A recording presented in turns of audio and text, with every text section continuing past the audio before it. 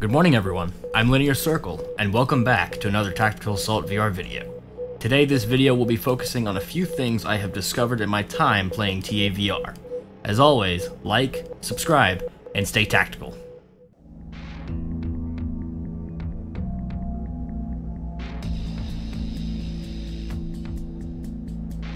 Number 1. Did you know you can change the reticle on your pistol's red dot sight? This is very useful if you have issues with finding a sight picture with the normal dot reticle.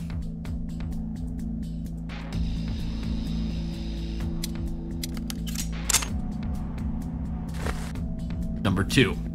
There is a difference in enemy types. Some come with armor, some do not. Always keep in mind how many rounds they take before you secure the kill, so you waste less rounds in the future. Number 3.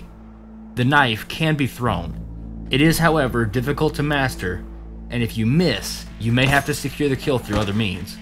Make sure the tip of the blade strikes first when you throw.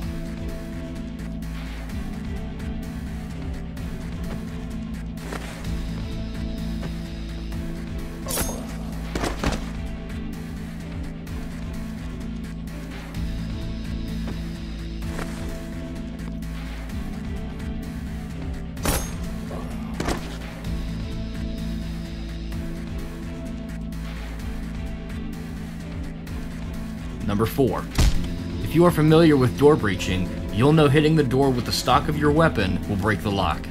There is actually two other methods you may not be familiar with. You can hold your rifle in an alternate position to help guide your swing.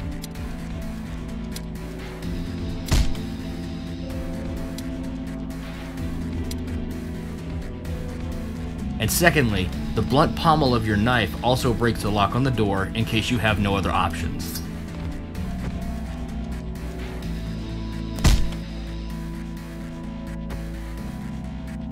Number 5. Feeling merciful. You can non-lethally take down enemies with the buttstock of your rifle, or you can pistol whip them.